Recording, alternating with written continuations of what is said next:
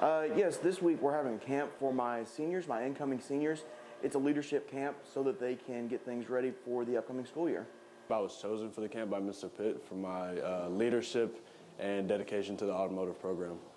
This camp is going to provide students the opportunity to um, actually tailor make their senior year of high school.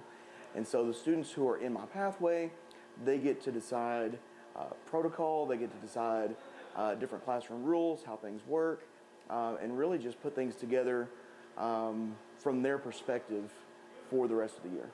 The biggest challenges for students right now uh, is trying to keep social distancing, trying to keep masks on, especially in uh, the automotive atmosphere, because a lot of that is uh, things where we have to be close together, we have to uh, be able to see the same thing, see the things from the same perspective. It's not really any big challenges in this camp because more or less since we're seniors we're kind of setting out the class. We have this 2005 Kia Rio. It's difficult to get that door open.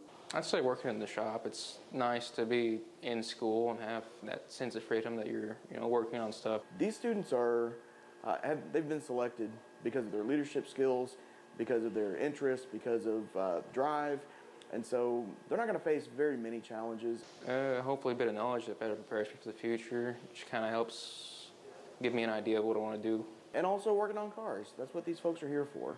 Um, they're here to turn broke cars into fixed cars. And, um, and a lot of them have a, a really good future in this. Kinda, it depends. I have multiple ideas of what I could be doing in the future, but they all kind of have some sort of relation towards automotive.